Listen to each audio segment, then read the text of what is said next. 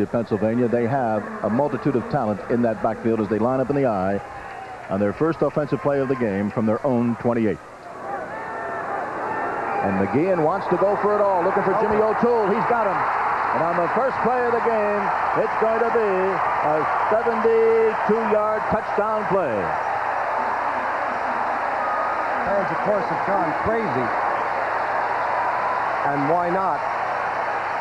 But we said at the top of the game that Penn might try go over top of Yale early because of their man coverage, and they got it that time. Big six points early.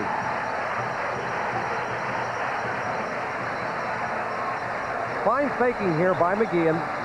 As you can see, he's got plenty of time to throw, and he really unloads this cannon.